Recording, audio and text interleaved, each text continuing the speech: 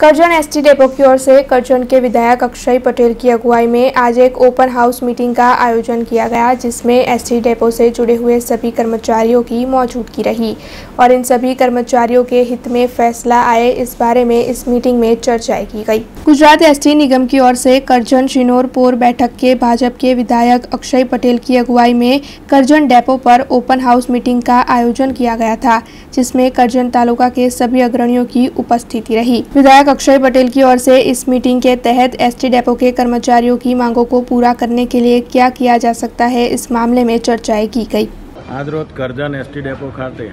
open house meeting રાખવામાં આવી હતી એમાં કરજણ વિધાનસભાના દરેક તાલુકાના આગેવાનો અહીં આગળ ઉપસ્થિત હતા અને ઉપસ્થિતિમાં જે જે કંઈક પ્રશ્નો હતા આજે સ્કૂલો ચાલુ થવાથી દિવાળી પછીની જે જે છોકરાઓ માટેની જે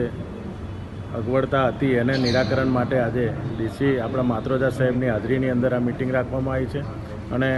તમામ પ્રશ્નોના હલ આવનારા દિવસોની અંદર તાત્કાલિક ધોરણે થાય એ રીતેની